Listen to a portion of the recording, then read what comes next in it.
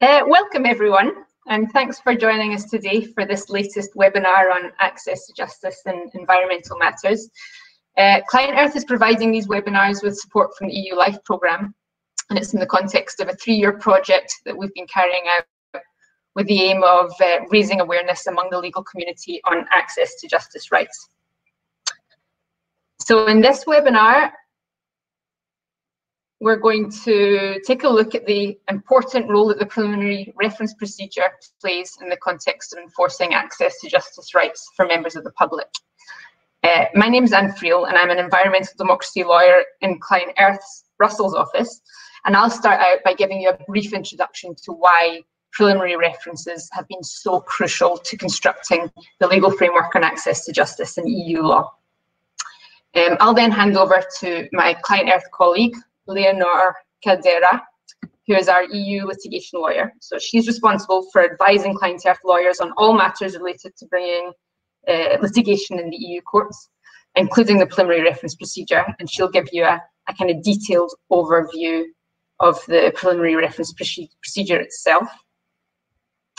Um, finally, we've invited Fred Logue here uh, to give you a, a, valuable practitioner's perspective. So Fred is the principal of the law firm FP Logue based in Dublin, and he's a leading information lawyer. He advises a lot on access to environmental information, but he also represents a number of NGOs, including Client Earth, and a wide range of environmental cases related to the EIA directive, the Habitats directive, fisheries law, etc., etc. So unusually, Fred was an engineer before becoming a lawyer, and this scientific background, I can say from experience, really is a great asset when, uh, when advising on highly technical aspects of environmental law.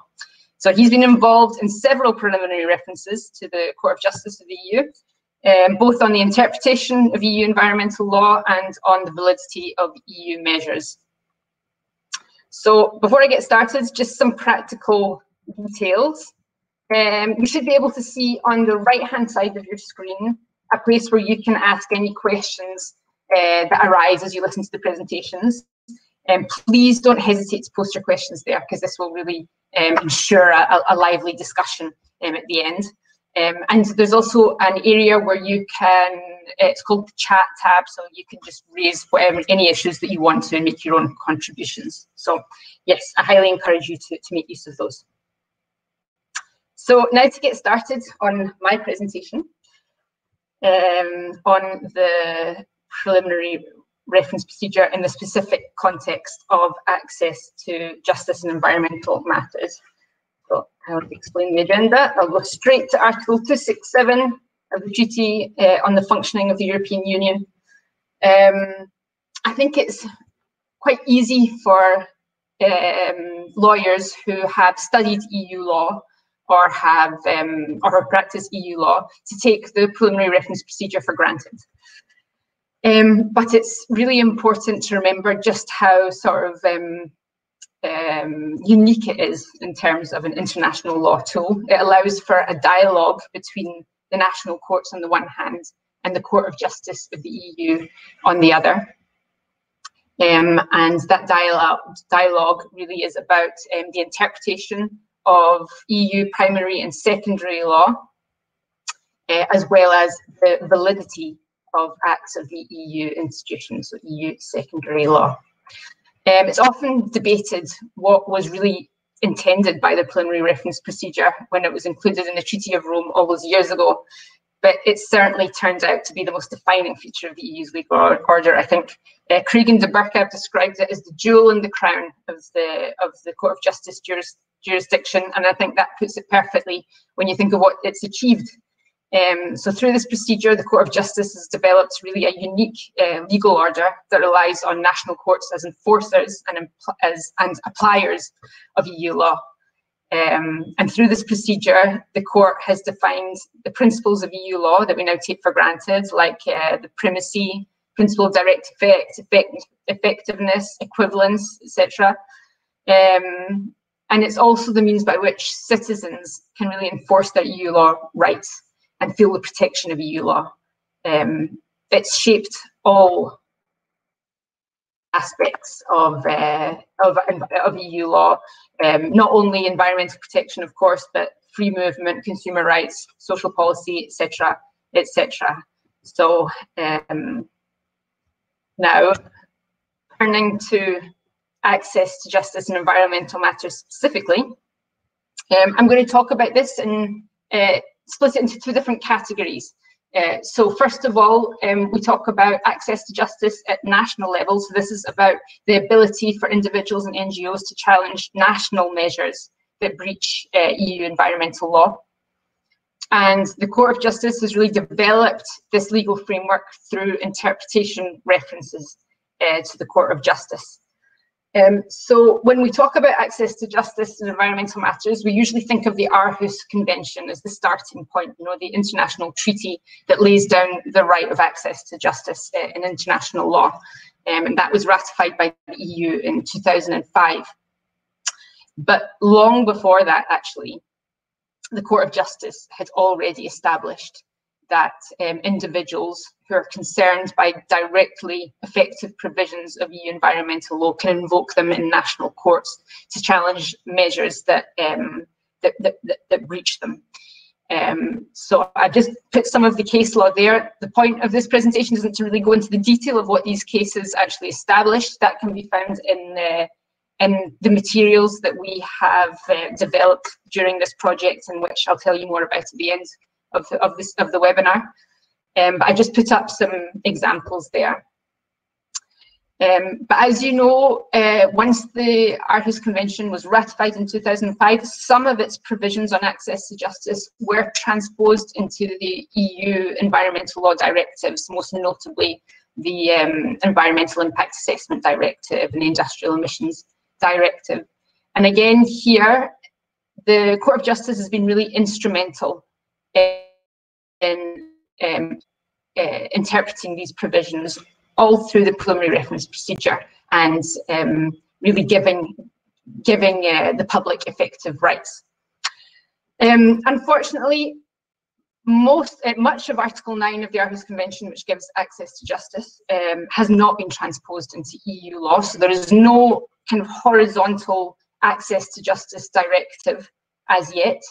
Um, but the Court of Justice has been uh, very active in ensuring that um, those rights that are contained in the Aarhus Directive are um, enforced at, at, national level. And it's done this quite recently um, through, through relying directly on the Aarhus Convention, Article 9, in conjunction with the Charter of Fundamental Rights to ensure that uh, NGOs and individuals can reach national courts to challenge national measures. Um, so basically this means that thanks to the court, we can say today that we have a very strong and detailed EU legal framework on access to justice, um, despite this lack of an, of an EU directive. Um, however, that's not to say that problems don't remain. Of course they do. Um, because basically this, this, these rights have been developed through the case law, this means that um, courts, national courts, have to rely on a very complicated patchwork of uh, of European case law that they, that um, if you're not an expert in it, it's quite hard to master. It's quite complicated and, far-reaching. Um, also, it means that um, all of these preliminary reference procedures and the case law they arise out of specific uh, disputes and that means that it's quite um, reactive in nature. So we're still really lacking that kind of pro, those kind of proactive choices of the co-legislators that we would have if they were to um, transpose access to justice rights into a directive. So uh, Client Earth still very much hopes that we will see a directive in the future.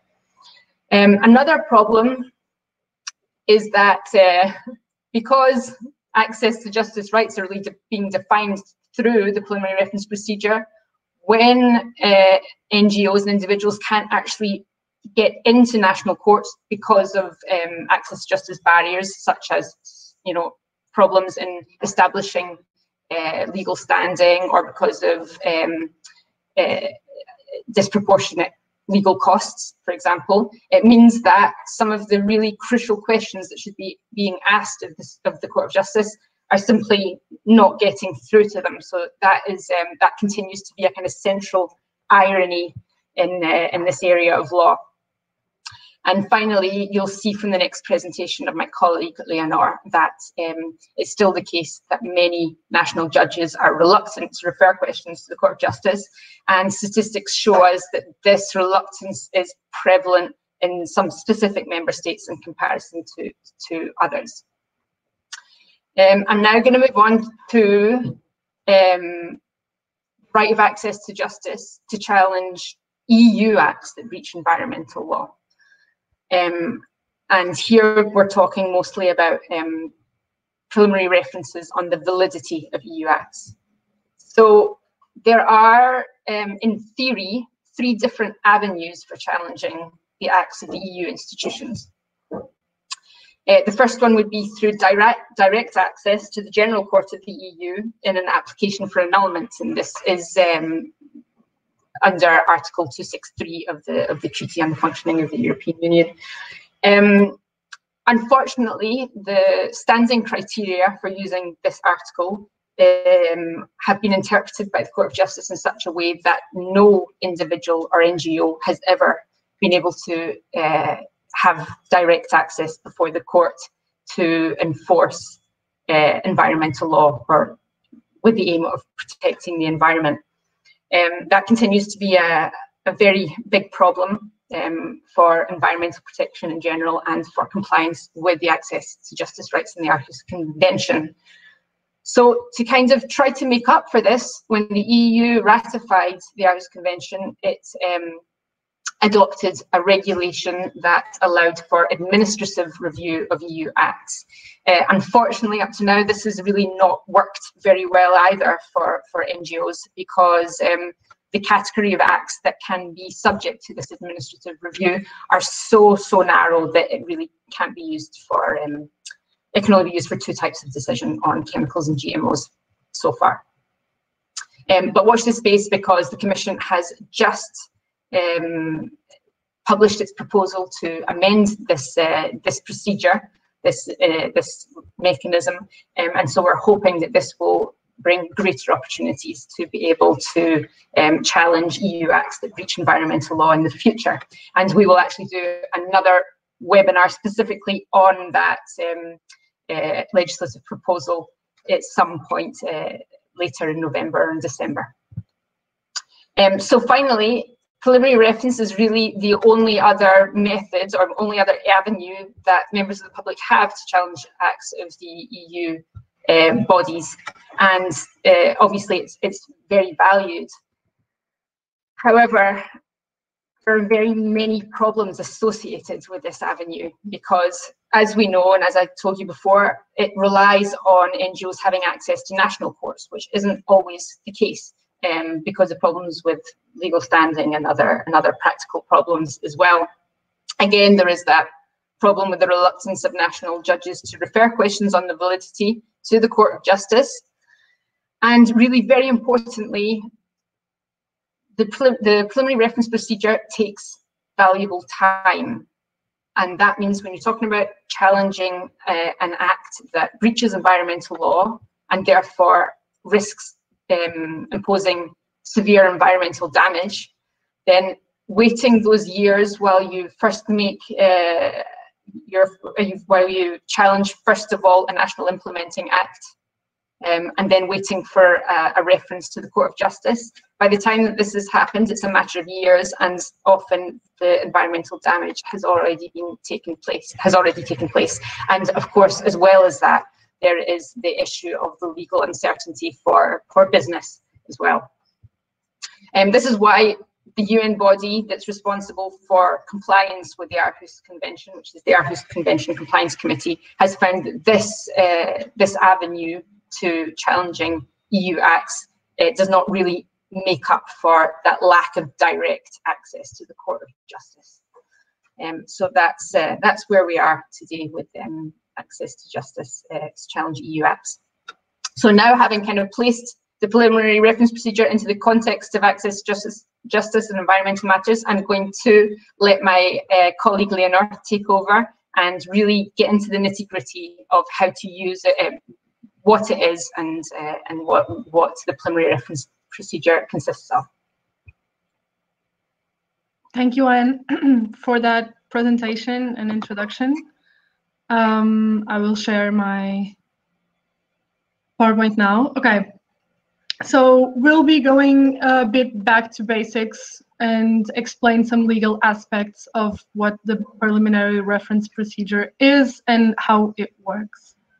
So if you don't know anything about the preliminary reference procedure, in very simple terms, um, it is when national courts are faced with EU law acts and they have questions or doubts about how to interpret it or, or regarding the validity of that act that is necessary to solve their case.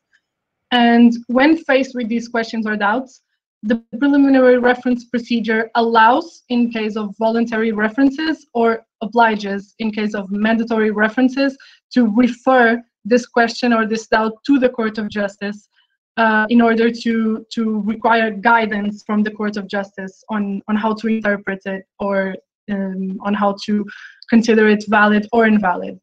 Faced with this reference from the national courts, the Court of Justice will reply and issue a reference judgment, which is um, will be able to guide the national court how to interpret or or how to view the validity of that act. Um, when the National Court receives the reference judgment from the Court of Justice, he will decide on, on the case. So it's not the Court of Justice job to, to solve the case, it's just to provide guidance um, and interpretation and the validity of EU acts.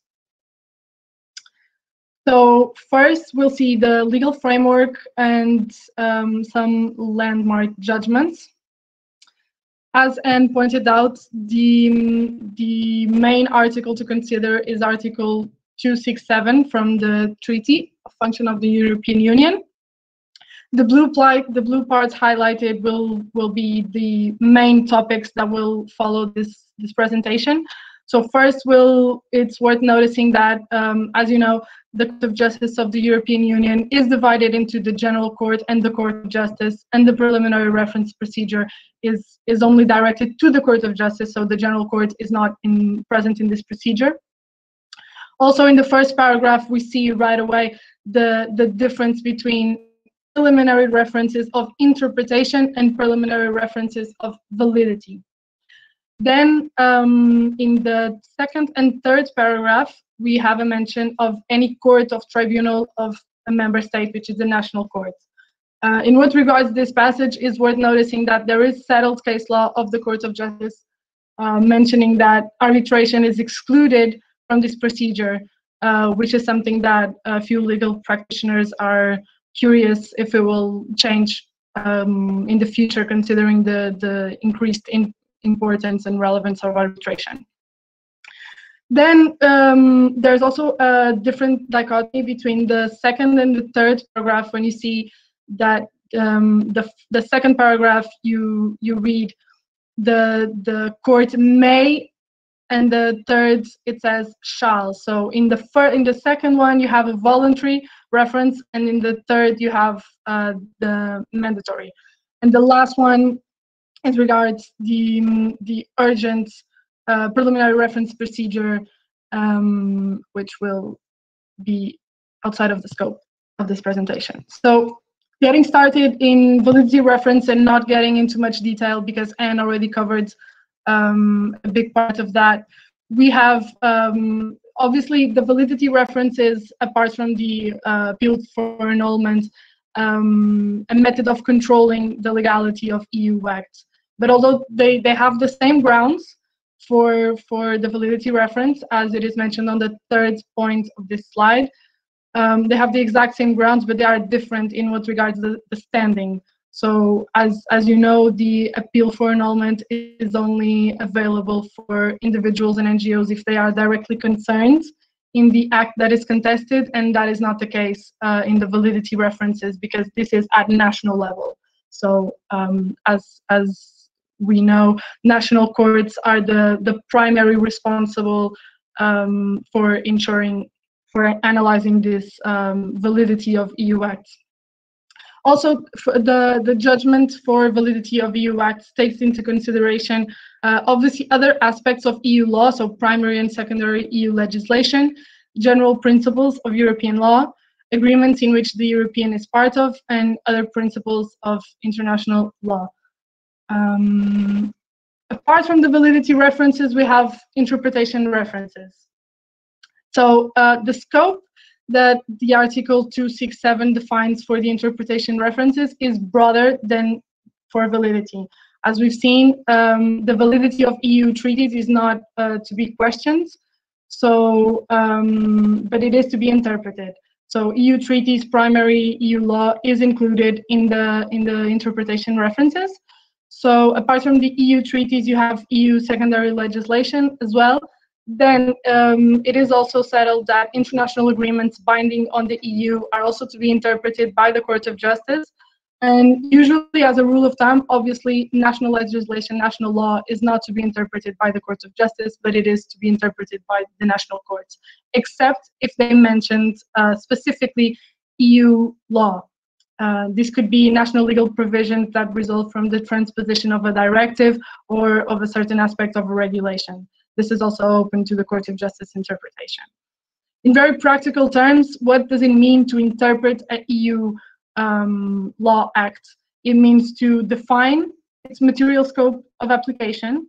It means to define its recipients who should be complying to this provision, its effects and its consequences, but also its primacy over other acts or its direct effect over um, national law.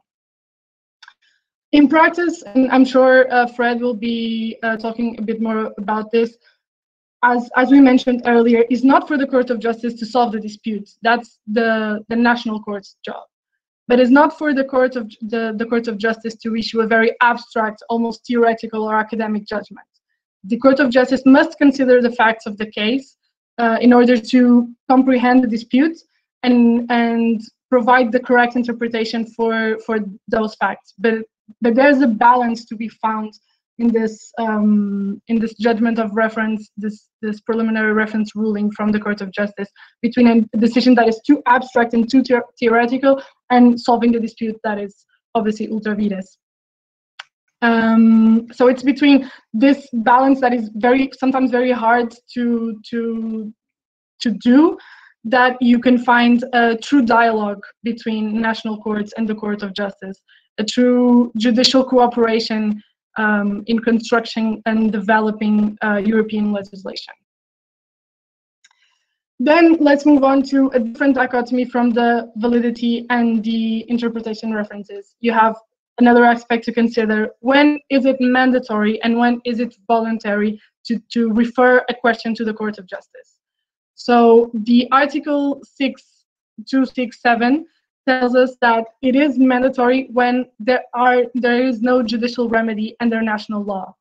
And um, for a few decades ago, there was a discussion between those who consider that no judicial remedy meant that only the highest court of a judicial system could refer to to the court of justice and no intermediary court could refer it because in theory that system that legal that national legal system allowed for uh, a higher instance as a result, there wasn't so many um, preliminary references directed to the Court of Justice, but then this was solved in 64 in the case Costa versus ENEL when the, the amount of the dispute was very small. So the, the intermediary court in Italy was actually the last um, the last instance of the appeal. Um, the losing party could not appeal despite Italy obviously having a higher court. Um, today, it is a settled case law that what what you should consider is the dispute, uh, the concrete, the specific dispute that is um, that the the reference is included in. If there is no possibility of appeal, then then that reference is mandatory when faced with the question. Um, and this is for interpretation references because as we've seen in case um, that is the number is three 314 slash 85. Frost is landmark judgment regarding preliminary reference procedure. The Court of Justice reserved for itself the jurisdiction to judge on the validity of EU acts. So the Court of Justice will not judge on the validity of national law, and the national courts will not judge on the validity of EU law. So when faced with the question regarding the validity of EU acts, even a first instance court should refer mandat mandatorily to the Court of Justice. So obviously, if you have an obligation, there must be consequences for breaching that obligation. Otherwise, you don't have an obligation very, very uh, clearly. Um, and the consequences, the legal implications of not referring to the Court of Justice when you should have have, are um, a bit under discussion. Currently, it's not very clear, but we could point out three different scenarios. First, a possibility of that state being uh, condemned in an infringement proceedings. We have a few, uh, the first precedent is in 2003, there was infringement proceedings started against Sweden, but um, in at the end, Sweden was not condemned and the, court, and the case was closed in the middle. But uh, we have a very recent judgment from 2018 where uh, the commission sued France in an infringement proceedings and actually France was condemned because the Conseil d'Etat did not refer a question to the Court of Justice in tax issues when they should have. Um, so this is a consequence, the consequence that parties should remind their national courts um, if they want their national courts to refer a question to the Court of Justice. Uh, if you don't, you should, and if you don't, you could you could be faced with an infringement proceedings. Also, we should consider the possibility of state liability between before individuals and NGOs. So the EU obviously provides the individuals and, and NGOs with rights, and these rights should be enforced in the front line by the national courts. And, and if there was a, a, mandatory reference to be made that the Court of Justice, that the national court did not refer to the Court of Justice, the decision might be final, but the, in, the individuals and NGOs still have the possibility to claim damages for not seeing their rights enforced. In this case that I mentioned here against Austria, Austria was not condemned in state uh, liability, but in the reasoning of that decision, the Court of Justice is very clear that if the mistake is serious and very obvious, very manifest, if it's so evident that there was a question in, in need of referencing to the Court of Justice and the and the National Court simply ignored it, and if the, the mistake is very serious, we could the state could be faced with state liability and compensate for damages. Lastly, um, the third route of legal implications is the obligation to review past administrative decisions. So this actually goes against the goes puts into question the principle of res judicata of national decisions benefiting from the correct and uniform interpretation of EU law. So if an administrative act is uh, questioned in um, national level and no references no reference is made to the court of justice. And then later the court of justice finds out that a certain interpretation or validity judgment is in a certain way. And the uh, decision from the national court is already final. There could be grounds to reopen that case and start that judgment all over again considering the correct interpretation as defined by the court of justice. So this is also um, a big consequence to consider so apart from the, the mandatory references, we have voluntary references. We've seen that validity references are always mandatory and are always to reserve for the Court of Justice, and that interpretation references can be mandatory if there is no other possibility of appeal. But when there is possibility of appeal, the court actually has the freedom to decide if he wants to refer to the Court of Justice or not. Um, and to to answer this this question, one must think if the doubts that the national court is facing regarding EU, EU, law, if it's crucial to, to solve their dispute, if after consulting past decisions, past case law of the Court of Justice, if there is if there is not certainty as regards to the correct interpretation or validity judgment, and considering that the Court of the, the National Court has a doubt, then the Court of Justice is better fit to interpret or to judge on the validity than the national courts. Um, in the case of Gasparini in 2006, uh, the, the national courts referred to the Court of Justice a question that was hypothetical, and the Court of Justice said it cannot be hypothetical. It has to be concrete to your dispute. It has to be crucial to, to, to solve your dispute. If it's not crucial to solve your dispute, then you, you shouldn't use the, the reference judgment procedure. So as opposed to, to the decision to refer to the Court of Justice, you have the other side of the question. When, when shouldn't you, re you refer, refer to the Court of Justice? There are two aspects to consider. Uh, the first one if, is, if the EU act is very obvious, the command is very simple and very obvious, and you could you can you cannot even think of a different way to interpret it. Uh, and this has the the landmark judgment of CILFIT in 1982 this the, this landmark judgment is very used in, in national level litigation when one of the parties invites the courts to refer uh, obviously there is a question here please national court refer to the court of justice and then the counterparty will reply. No this is very very obvious and so simple. Um, so this is so this is very very used in practice. But oftentimes um, you acts uh, refer to the court of justice are not obvious at all the second aspect is if you can find a settled case law of the Court of Justice that very clearly defines the correct interpretation and validity. So almost as if you could guess what the Court of Justice will reply to your question. Um, but this has to be used with caution because this uh, case that I also mentioned here, um, 34 slash 79, it was a case of a voluntary reference because it was intermediary courts that when faced with the question of EU law thought, no, this is very obvious, very clear, and besides that, we already have a previous judgments of the, the Court of Justice guiding us um, through this. So he decided, the, the intermediary court decided in a, in a certain way. Then the losing party appealed to the higher court, and the higher court decided, no, this is not obvious at all. We will refer to the Court of Justice because now it is mandatory and the Court of Justice agreed with the higher court and said, no, this is not obvious, and actually our our view, our interpretation is very different. So the outcome of the court, um, the outcome of the case ended up being being very different. So uh, the main idea here is if you have a question of EU law, refer it um, because the, the Court of Justice is is the better fit to do to do that. So when you refer to to the Court of Justice. The Court of Justice will reply and issue a reference judgment. So now we'll see some as as aspects of this judgment.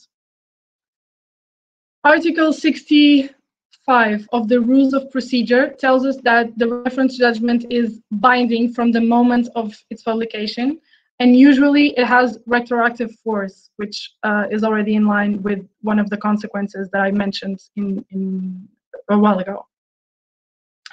This reference judgment is binding on the court that submitted the question, very obviously, because otherwise it would not ensure the uniform application and interpretation of EU law, but also on other courts, other national courts that have the same domestic procedure with the same question and similar cases.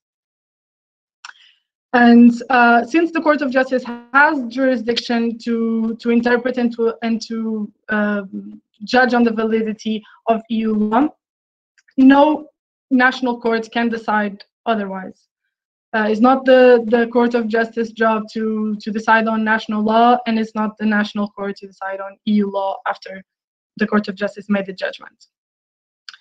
When the Court of Justice issues a judgment regarding interpretation or um, judging on the validity or invalidity of an act, that judgment, that decision becomes a part of that act. So when, for future cases, when you are applying or interpreting certain acts, certain provision, you should always consider um, past reference judgments made by the Court of Justice. um, reference judgments are not subject to appeal. They are made by the Court of Justice and they are final. However, parties can make requests to can ask the the, um, the national court because it's the national court's uh, job to make requests to clarify or to bring new perspectives considering the facts of the case. So these small requests post the the reference judgment could actually clarify or slightly change, but otherwise the decision is final. Also, you should consider, even if you have settled case law, that um, the Court of Justice is also always evolving in their in their positions and their and their reference judgments. For example, the theory of the primacy of EU law before national law was all developed through preliminary references, decades of decades of national courts requesting the Court of Justice. We have this treaty, we have these provisions, how should we implement it, how should we, we interpret it? And this is a very dynamic form of legal integration through the, the Court of Justice that reference by reference is building um, the national, the, the European law. So even if you have settled case law, this is more of an, an incentive to, to refer it because you never know. Just a quick uh, reference, also making um, connecting to to Anne's presentation earlier.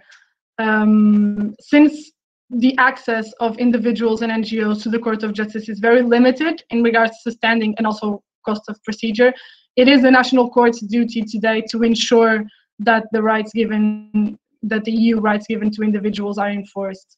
So the preliminary reference procedure is actually the, um, the, the, way that individuals and NGOs can enforce their EU rights, even if indirectly. Since this is their primary uh, access to justice and, and ability to enforce their rights, it is very important that national legal systems make um, this access um, available for individuals and NGOs.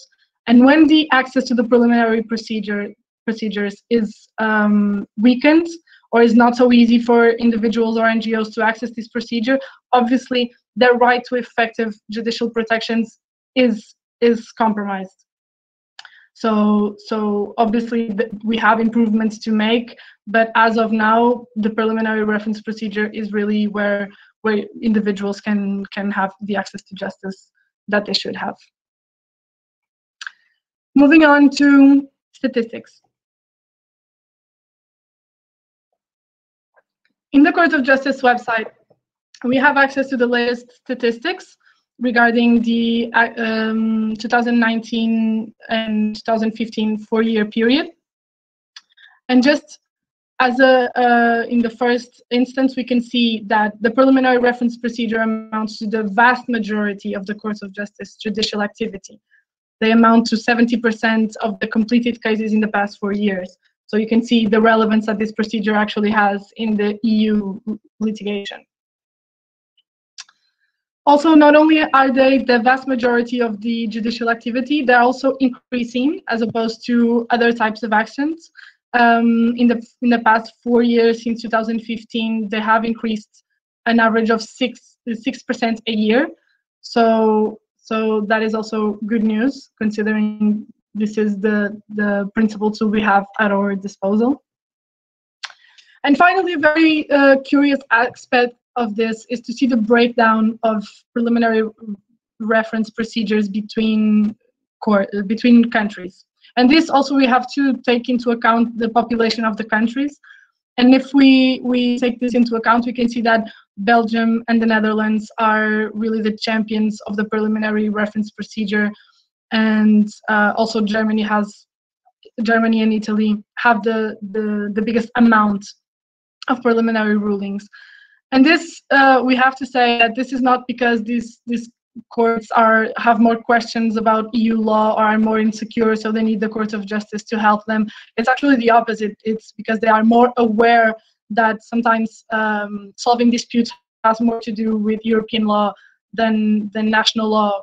Uh, more, more and more every year. And it's very obvious when, when we are talking about directives and regulations that we are talking about European law but sometimes this procedure goes under the radar when we are talking about national provisions that are transposing directives or are specifying uh, smaller aspects of regulations and national courts and also the parties because parties can in, can invite the court to refer. Do not even think of of uh, this procedure.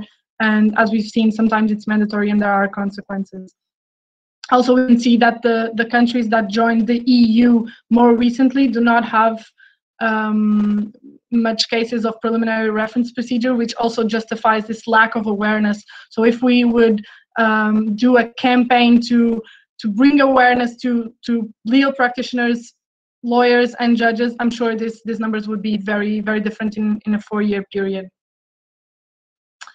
So lastly, the four main ideas that you should take from this uh, basic presentation about the preliminary reference procedure uh, is first, this is the, the, the way to ensure uniform interpretation and application of EU law.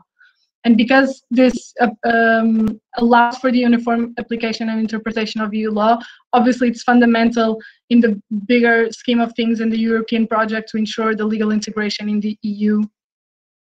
Also, as we've seen, it's the biggest form of access to justice to the Europe to the to the Court of Justice by individuals and NGOs um, until we until we improve the system and and broaden the the, the, the standing of individuals and NGOs. And also because it is a dialogue and because it is um, a method of cooperation, it is a, a unique me mechanism of judicial cooperations between national courts and the Court of Justice, and this is a very interesting uh, legal phenomenon.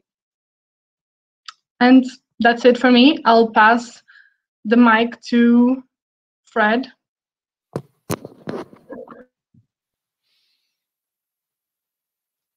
Okay, I'm just waiting for my slides to appear. Okay, I'd like to thank Client Earth, Anne, Leonor, and the sponsor for um, inviting me to give this presentation. Uh, so what I'll do is talk about the practitioners or the practical aspects of preliminary references, both on interpretation and in validity. Uh, and kind of it's kind of unique scenario in that it's a single project has given rise to the possibility of both uh, a validity reference and an interpretive reference uh, and I'll describe that um, so so the the context of this is a project in Ireland called the Shannon LNG terminal and connecting pipeline and, and what it is, it's a proposal to import liquefied natural gas into Europe via a, a terminal on the west coast of Ireland. Uh, and the issue with it is, is that the, the gas source is primarily fracked gas from the US. So there's so there's very serious environmental issues, climate change issues uh, with that, uh, and it's something that uh, there's a fairly organized campaign in Ireland, in the US, and in Europe uh, against liquefied natural gas and, and frack gas in general. so it, it raised a few issues about the the application of uh, the Habitats Directive in Ireland and the transposition, and also about the validity of uh, a European uh, regulation that uh, is is designed to uh, provide for trans-European energy networks. So the project itself was a planning permission to build a gas terminal in this area in the, on the west of Ireland. It's called the Shannon Estuary, um, and it's obviously it's close. It's the close one of the closest points to the US uh, for shipping, so it's relatively attractive to um, to importers. And there's a gas pipeline in the area which then connects into the European network. Um, the for the environment, there's two uh, European sites. There's uh, the Lower River, River Shannon SAC, Special Area of Conservation, which has uh, kind of mud flats and salt marshes, and is also a habitat for bottlenose dolphin, which also have protection under Article 4, strict protection in the Habitats Directive. And there's also a special protection area under the Birds Directive, the Habitats Directive, for uh, winter birds and water birds, and it's the probably the most significant winter bird habitat in, in Ireland. And there's 50 to 100,000 birds visit there during the winter every year. So this pretty it's pretty significant uh, in terms of habitats, um, and obviously that's the place where you want to build a gas terminal. Um, if you if you wanted to pick somewhere, that's where you'd pick, obviously. so the the applicant, my client, is Friends of the Irish Environment. Uh, it's a non-governmental ENGO. It's been in existence for over 20 years, and it campaigns to implement EU environmental law in Ireland to protect the built and natural environment. Uh, the main areas that it operates in are regulation of peat, uh, climate change, air quality, aquaculture, agriculture, fishing, and forestry.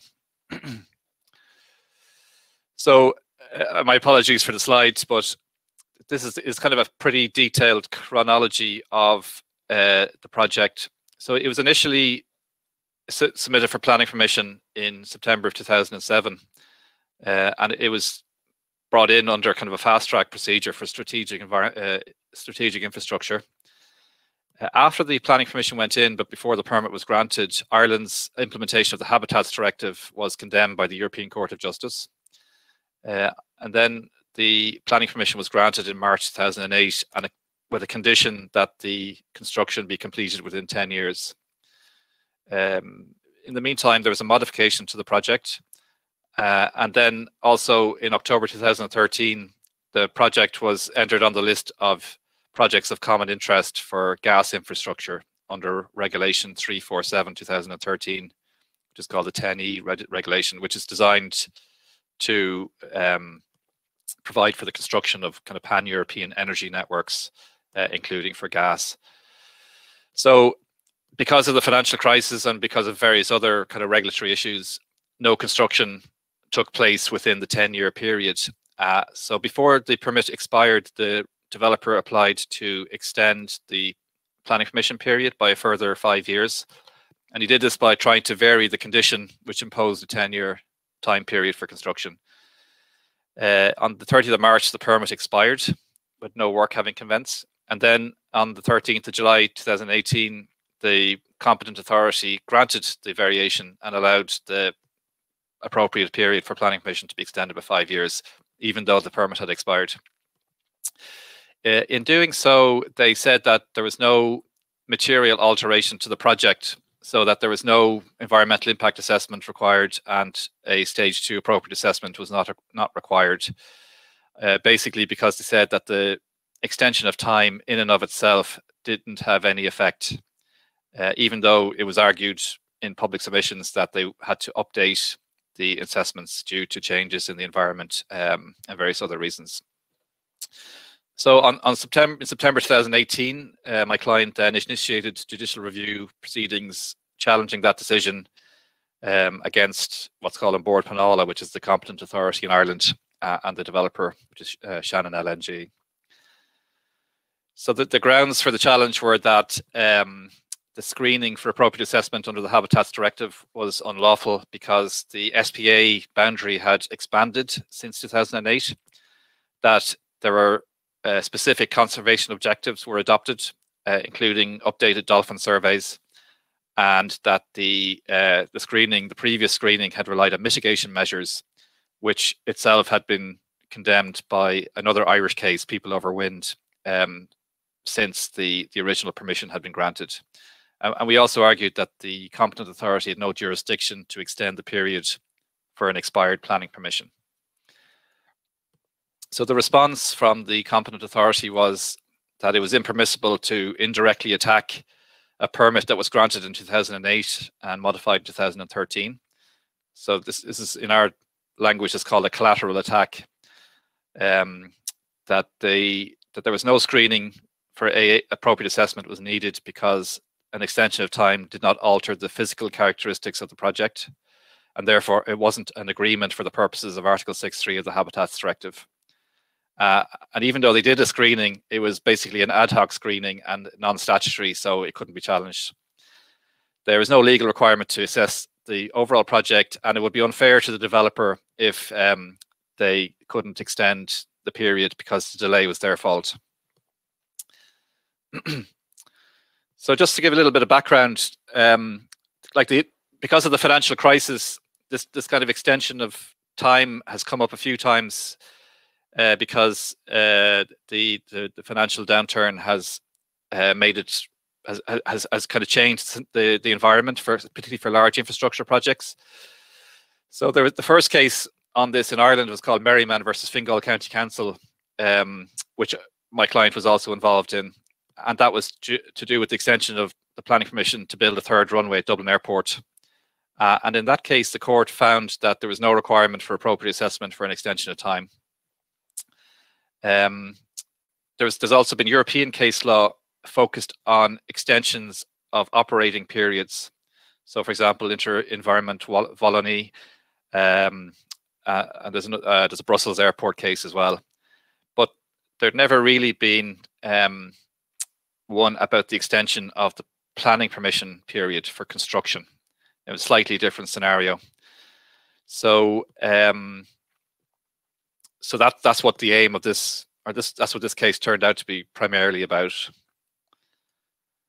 So in the judgment, the court found that the competent authority had used the wrong procedure, that they should have used a procedure that specifically intended to extend time uh, and is, is, is more compatible with EU law, rather than trying to vary the terms of the planning permission itself in relation to the appropriate period.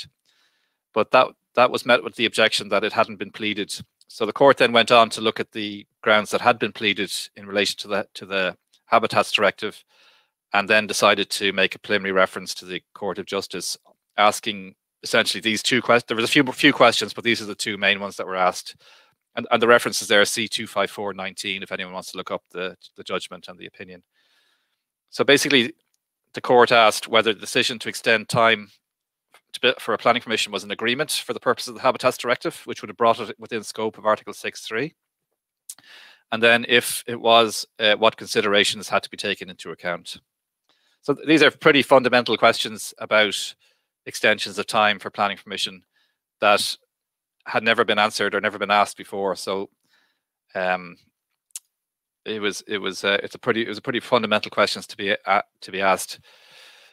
so so there was an, I'm not going to talk about the AG's opinion because it was broadly adopted by the court. Uh, surprisingly for us, in a kind of common law uh, tradition, there was no hearing. Um, and then in the judgment, the court said that the extension of time is an agreement. Uh, that the extension of time for a lapsed permit is a new consent for the purpose of the EIA directive and therefore also an agreement under the Habitats directive. Uh, that it is permissible to take into account earlier consents if they contain complete, precise, and definitive conclusions that are capable of resolving scientific doubt, uh, and provided there are no changes in the scientific or environmental information uh, no changes to the project and no kind of new plans or projects that must be taken into account.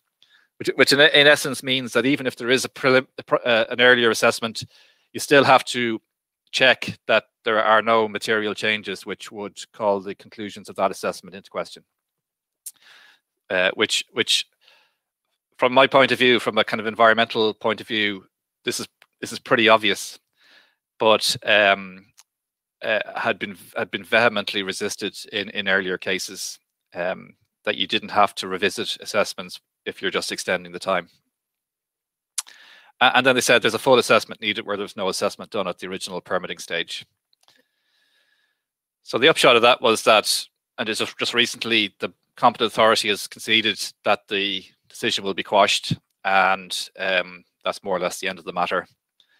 So, so that's kind of the traditional path that you take with a preliminary reference. It's kind of up to the court really at this stage to to refer um, the, the, the the jurisdiction to refer is discretionary at the first instance uh, rather than mandatory.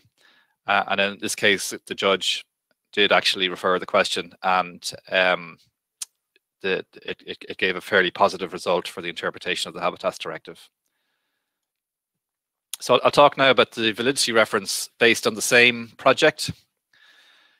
So this is a second line of attack, and it was essentially attacking the inclusion of the Shannon LNG terminal and pipeline on the union list of projects of common interest.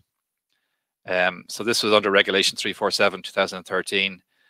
And the argument here was that when the, the criteria for inclusion on the list were being uh, considered by the European Union and by kind of group member states and and regulators that they didn't include sustainability aspects in the cost benefit analysis and this is a mandatory requirement under the the regulation um, it's also worth pointing out that inclusion on the list is subject to a member state approval both under the regulation itself and under the the treaty uh, and the list is renewed every four years uh, so in this case the most recent list, the fourth list, was adopted by the European Commission on the 31st of October 2019. Uh, and we initiated, initiated judicial review proceedings within three months on the 30th of January 2020 this year. Uh, so the significance of the PCI designation is that it gives priority status for project permitting. Uh, member states have to treat them with the most rapid treatment legally possible under national law. Uh, they have to provide a single competent authority to facilitate and coordinate the permitting. Uh, like generally, there's quite a quite a lot of permits, so there might be planning permission, there might be emissions licensing, there might be in Ireland we have foreshore licensing if you want to build next to the next to the um, the, the, shore, uh, and so on.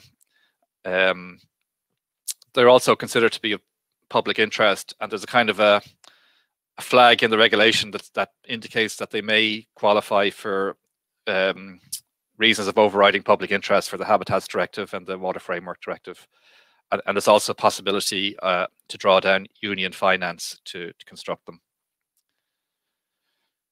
Um, so when, we're, when you're, we were looking at this, um, you know, it, it, it, I, am not sure if this has ever, had ever been done before. I think this, this may be one of the first you know, it's certainly the first in Ireland, maybe the first in Europe, where uh, an ENGO went and kind of basically went directly in and looked for a validity reference.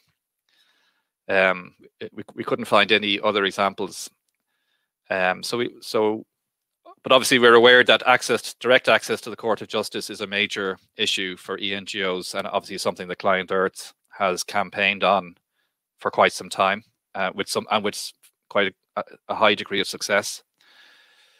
Uh, as I think Anne or Leonor noted, the Aarhus regulation administrative review is quite unsatisfactory, both in terms of what can be reviewed and whether there's a judicial remedy at the end of it. Um, so if you look at the list of, of, of review applications, the degree of success is, is virtually zero, uh, and the um, the scope of judicial review is very, very limited just to procedural aspects, really. So, so we felt we felt that you would not not be able to get to the Court of Justice to look at the actual validity of the regulation via the administrative review. And I think another NGO actually filed a request for administrative review and and failed. So I think we were right on that. We also had to consider whether we could bring a direct action under Article 2634 but again, no ENGO has ever been able to meet the criteria of directly concerned by something like this. So we, we, we, felt that we didn't qualify um, uh, to take, uh, we, we didn't have standing under 2634. Uh, there's uncertainty at national level about how to actually request a preliminary reference when there's no uh, Im immediate implementation measure in place. Um, so there, there was a lot of uncertainty about how to approach it. So, so when we issued the proceedings, we kind of gave it our best shot. Um, and I, I, should also mention that it wasn't just myself as the lawyer. We had two barristers, John Kenny and James Devlin, who had work, worked on this project and worked on the earlier case that I mentioned as well. So again, uh, no ENGO standing under the Article 263. How to how to access the validity challenge, when to challenge it. Um, I'm not sure about in other systems, but in Ireland, if you have a choice, no matter which choice you take, you'll always be told you should have taken the other one. So, uh, and also the, the usual, your case is premature, both premature and out of time. So if you're challenging a national measure and challenging an EU measure, uh, you, you, you have to kind of um, balance the time li time limits. So that's why we went in quite early. We actually went in before the uh, adopt the act had come into force. Uh, we so to try and get our decision within the national law time limit for the national law decision, um, and ultimately we, we, we were able to to pull that one off. The other issues were it was very difficult to access information about the internal member state decision or the decision making at EU level. So there's basically very little in the public domain. Uh, some NGOs had done a access to information requests and they got some information, but it was fairly fairly limited and not, nothing really in it. Uh, we discovered that there were no formal written decisions at the member state level, at, at, the Irish level, in relation to some of the decisions that they had to take uh, in relation to the adoption of the project on the list. And then, and then there's very little guidance. There's no guidance in Irish law and very limited guidance from the ECJ and from the, the European Commission on how to do this.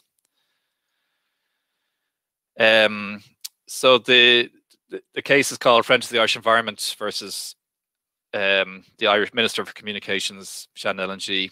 Um, there were two two reliefs. The primary one was a preliminary reference to the ECJ to determine the validity of that um, regulation insofar as it included the Shannon LNG project on the list. Uh, and I should say, like it, it, in comparison to the interpretive uh, preliminary reference, there's I think there's a less discretion on a court in terms of validity.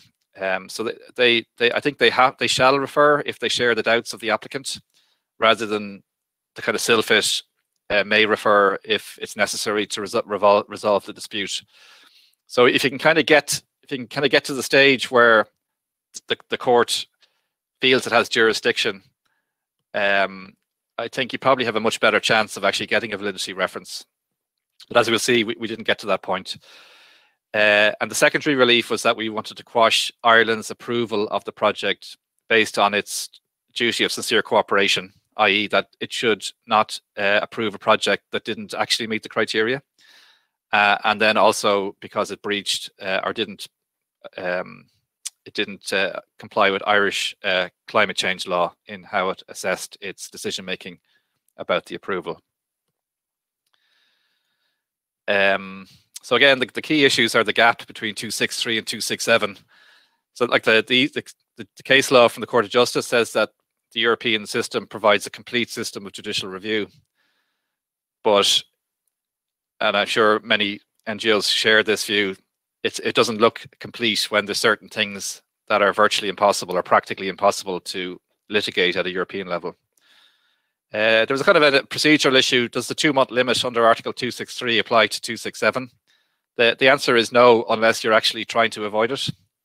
Um, what's the definition of implementing measures for 263? Um, so we, we said that the member states kind of preparatory decisions leading up to the delegated act should be subject to judicial review in Ireland um, or could be used to launch a validity challenge. And also that uh, possible future implementing measures would be sufficient to ground a validity challenge at the moment.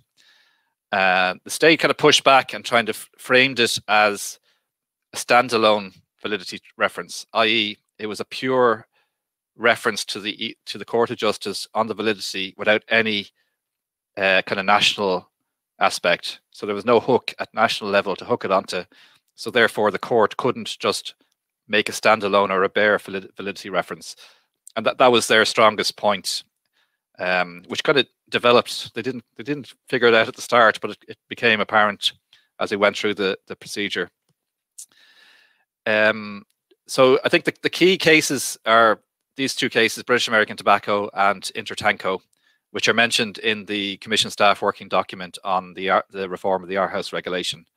and these are ones where the applicant challenged uh, the validity of, of, directives before the transposition deadline had expired. And the Court of Justice accepted that a preliminary reference could be made in that context. But there's no case law that says where there's no no implementing measure a validity reference can be made. That has never been resolved. And I and I'm not sure if anyone was on the ClientEarth seminar last week or the week before, but a senior official from the commission, I asked him that question and he said that where there are no implementing measures and you don't have standing for the Court of Justice, that the administrative review is your remedy and, and that's it. So the, the outcome of this was that a judgment was handed down recently in the last month. The court refused to make a preliminary reference uh, it said that there must be a national implementing measure. Uh, it found that there were no implementing measures and there never will be. So therefore, the British American Tobacco and Intertanko don't apply. And it also said that Ireland's action as a member of the regional groups under the regulation wasn't amenable to judicial review independently of the delegated act. So therefore, the court, in essence, lacked jurisdiction because, as Leonora has pointed out, uh, the Court of Justice has the sole jurisdiction to determine the validity of European measures. Um, it's still before the national court at first instance where the the, the other points are being determined, uh, and I think it's likely that we'll appeal this. Um, uh, so it's it's kind of work in progress, and so hopefully uh, I might have an update for people uh, in the next uh, in the next uh, year to see where where this goes. So I think that's it. Um, just on a, from a practical perspective, it, this was a very difficult case. Um, it, there was virtually nothing to try, nothing available to us to try and figure out whether it was a, a strong case or how to take it. Um, there, there's there have been a few other scenarios, for example, the Schrems litigation, but there's nothing precisely like this.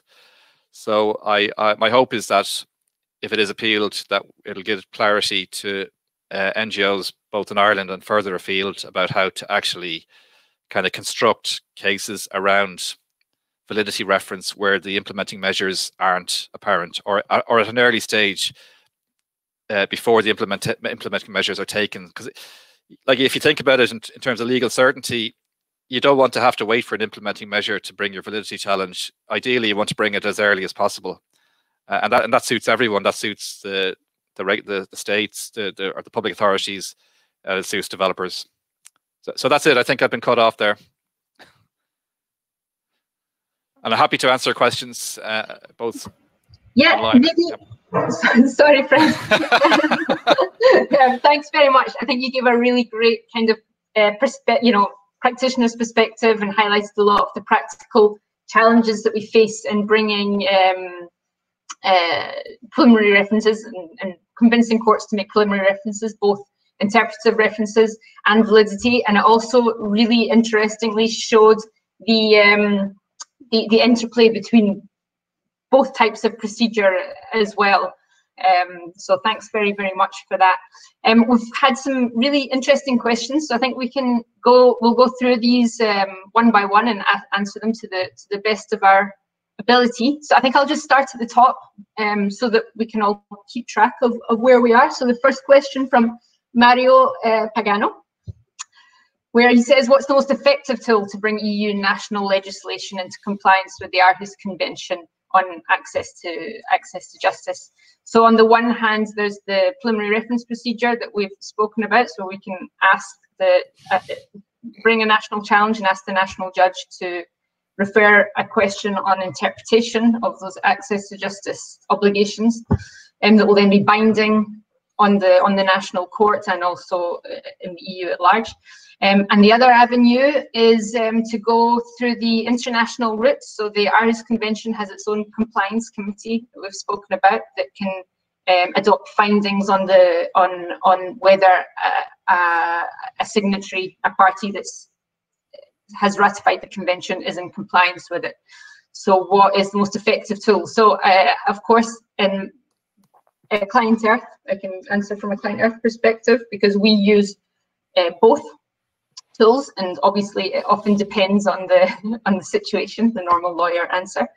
Um, so of course you highlight that costs are, uh, are a serious um, consideration when you're bringing litigation because the Aarhus Convention Compliance Committee making a complaint is obviously free of charge and you don't have to have a, a lawyer to um, to submit you know your your complaint for you so you don't have that external cost um, and that, that, that, that is, a, a, is a very serious consideration for NGOs, especially small ones with very limited economic uh, and financial resources. Um, but also, um, the other main consideration for us in deciding which avenue to go is when we simply don't have standing in the national court to to to to bring the case and to therefore ask the court to make a preliminary reference. So that's the case for just now. We have quite a lot of uh, we have some clean air litigation in Poland, and we have been refused standing um, in all instances right up to the um, um, Supreme Administrative Court. Um, so there's no right of appeal after that. They've refused to hear our, our case, um, despite the very clear case law from the Court of Justice in both the Janecek and the ClientEarth cases on access to justice to challenge clean air uh, air quality programs. Um, so in that case, we've done we've had to bring uh, a complaint to the compliance committee because of that lack of standing. So that's kind of an example that really clarifies why sometimes one one avenue is better than the other. Um, having said that, I'm not sure if we can say that most many NGOs still prefer the, the, the compliance committee. I think there's a lot of uh, national litigation ongoing all over the EU to, to try to enforce these access to justice rights, and we're seeing a lot of preliminary reference judgments that are really helping helping us. So, um, so I'm not sure if one is just kind of preferred over the other. I think it really depends on on, on the case and the strengths of the case and the financial resources of the of the applicant uh, in question. Um, yeah, so that would be my answer to that. And please feel free, anyone else, uh, Fred or, or, or Leonor, to. Yeah, well, there's a, from my point of view, there's, there's, two, there's two aspects. Firstly, the preliminary reference is the interpretation of EU law, and the compliance committee is the implementation of the Aarhus Convention. So they're not they're not identical. There's they're they're overlapping certainly, but they're not the same thing. Uh, and the second thing is uh, that the the compliance committee is getting, particularly now, is getting more strict on exhaustion of domestic remedies. So you can't just go to the compliance committee without at least giving a very good ex explanation of why you can't um, li uh, litigate it in your in your national court. So, for example, like Anne has said, they've been denied standing at all levels, so they've no option. So I, I think if if you're looking at something, I think the first port of call will always be a national remedy. Two excellent points. Um, okay, the next question is from Andrea Longo uh, to, to Leonor. So he, yes, three parts. Okay, so could you elaborate a bit more on the potential role of preliminary reference procedure as a tool to enforce human rights in the EU? Um, I think that your question is kind of specifically uh, in relation to NGOs uh, enforcing human human rights um, before the, the Court of Justice of the EU. So the second part is when we deal with public interest litigation, it is not necessarily easy to meet the legal standing to file a complaint before a national judge. Um, so I, am not, I have to say that I'm not a human rights expert, um, but I think that both uh, in terms of the ECHR and in the EU, um, for NGOs to enforce human rights is kind of a long-standing issue uh, and, and, and problem. And my understanding is that there's no kind of automatic right for NGOs to have access to national courts to enforce uh, human rights under EU law as a matter of EU law. I don't, uh, uh, as far as I'm aware, that's not the case, and it will depend very much on the on the specific fundamental rights because under EU law it would be more about uh, the Charter of Fundamental Rights.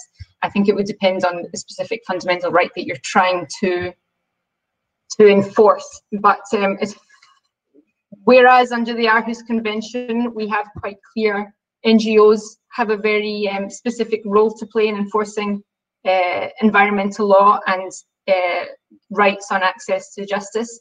Um, I don't believe that's generally the case for human rights at, at the moment. Um, but um, please feel free to to pitch in.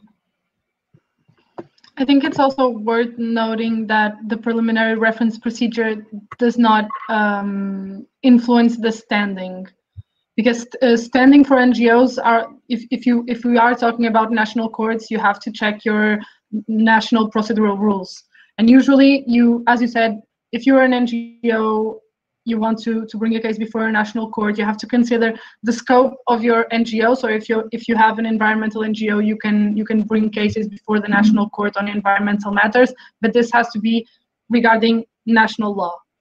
Um, so either you have standing or you don't. The the the preliminary reference procedure is is a subs subsequent question um, your ability to to to start a, uh, to refer a question to the Court of Justice does not have to do with your standing. You have to first pass the st the standings test, and then you can refer the question. Of course, of course, access to the national court and having standing is a matter of EU law because it's ratified the Aarhus Convention. Um, and I, what I'm saying is that I don't think there's an equivalent for human rights, and that yeah. showing victim status for for uh, for NGOs is a is a long going and much debated question, but it's not my area of expertise. I have to I have to admit. Um, but I hope that was helpful in any case to some extent. Um, moving down, Noel um, asks, um, says that in France, there's almost no possibility to use injunctive relief in order to get environmental information. I wonder if there could exist an obligation for French courts to refer, refer to the CJEU a question regarding this subject.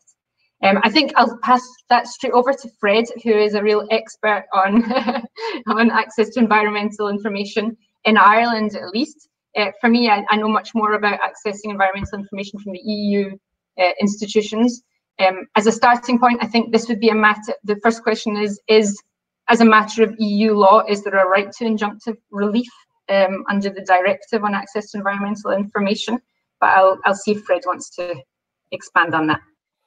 Uh, I'm, I'm not sure, but um, uh, it's hard enough to get it without injunctive relief. Um, but, but, obviously, Article 9.4 of is the over is the overrides overriding um, criteria for all uh, aspects of um, uh, the Aarhus Convention. So 919293, and it says that there should be the possibility of interim measures or injunctive relief.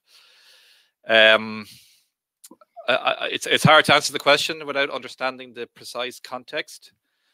But uh, I can give a plug for another one of my clients, Right to Know, who have just got a preliminary findings from the the compliance committee that says that um, that the court rem- the judicial remedy for uh, uh, access to environmental information has to meet the Article 594 criteria of being um, uh, fair, equitable, and timely. So that it has to take into account the uh, the how its order will be applied and to ensure that it meets the standards of Article 9.4. So I, I think if uh, Noel, that might be a project you could take up and try and figure out how to get that before the compliance committee. Uh, I'd encourage you to do that.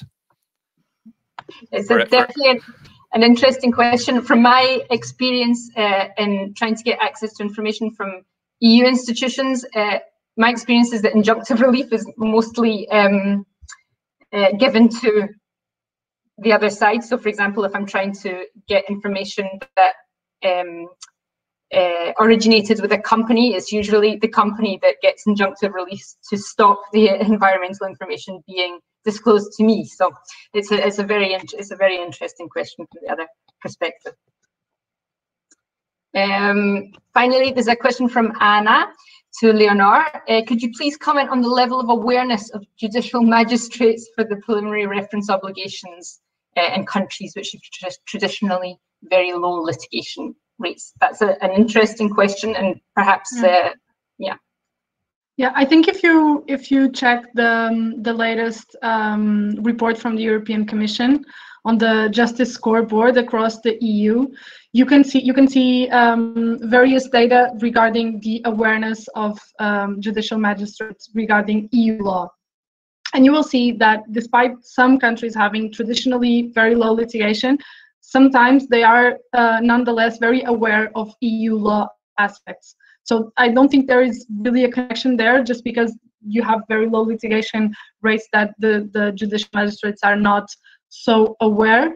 But what I also know is that traditionally very low litigation rates are also connected to lack of access to justice because um, in fact disputes are a matter of the human condition where there are humans there are disputes and litigation rates uh, go go up when when access to court is easier when you don't have uh, exorbitant costs when you have um, criteria for standing there is broader um, so so if if you if you mix all those those elements, you will see that if you have great access to justice, you will have higher litigation rates.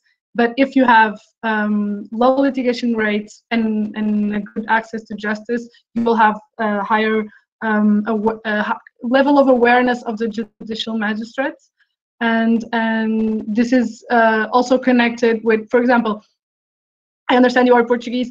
Portugal has a very high level of awareness of EU law, but we still have very few preliminary reference procedure comparing to Belgium, who has double the amount of the preliminary reference procedure. So something is is lacking here. Um, I'm not sure what it is, but but it's definitely a, a, an interesting an interesting point to consider.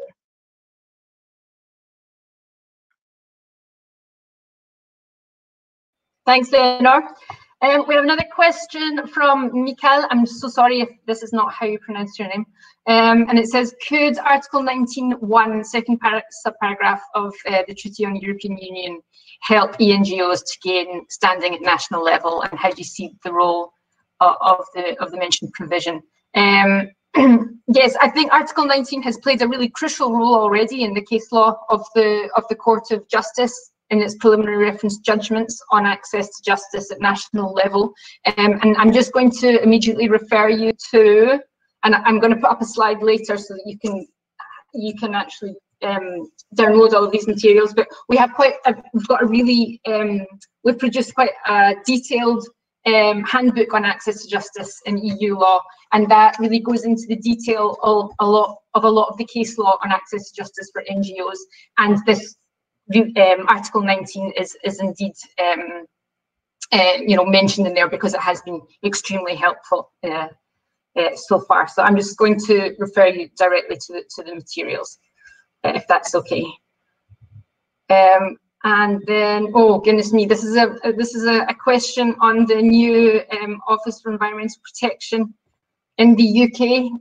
Um, now that uh, now that the UK has has left the European Union and we do no longer have the um, the benefit of the infringement proceedings brought by the Commission and the case law of the Court of Justice um, on access to justice. So um, I have to, I'm just going to say up front that I am not an expert on um, the uh, on you know the post-Brexit environmental legislation that's being passed in the UK. I have to say that um, probably for my mental health, I kind of switched off from, from it. But I do have client, I do have colleagues in ClientEarth who are very devoted to following it and who are working uh, on it. And I can perhaps send you, Paul, um, some of their materials that they're they're working on, um, which deal with exactly these questions. But I am I'm afraid not the the expert on that.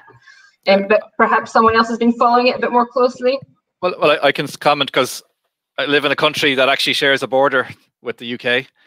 Uh, and it, it highlights the importance of the Aarhus Convention and the Espoo Convention because obviously the UK will still be parties to those. Uh, and I think um, there, there's, there's, you probably will see something uh, to strengthen those, particularly in between Northern Ireland and Ireland, to to prevent a kind of a, a race to the bottom in terms of regulation. Um, because there's a lot of, say, for example, intensive agriculture uh, you know, uh, chickens and things like that, um, which have spillover effects in terms of um, just the, the economics and in terms of the environment. So I, I, I think there there will be there'll be a lot of focus on on the transboundary consultations and on the Aarhus Convention uh, compliance in the UK, and um, uh, so I think it goes back to that the, the, question about the Aarhus Convention and the preliminary reference. So they're, they're two different things. So I think we will need to be relying on the Aarhus Convention a lot in ca in cases of environmental issues that affect Ireland particularly, but there, there's other transboundary effects, maybe in the say, for example, in, in the marine context or fishing context, uh, which might be relevant as well. Um, yeah, and just to point out that there are um, a couple of, uh, or at least a couple more than that, um, cases already before the Aarhus Convention Compliance Committee on Access to Justice in the UK. One is on costs, and there's another very interesting one on the standard of review that's undertaken by the UK courts when they when they review um, acts of the of the executive, and that they're going to be very interesting to watch now as we see the the UK um, embark on a review of of judicial review and what that actually means. And I agree that there are some very, very worrying developments for access to justice um, in the UK.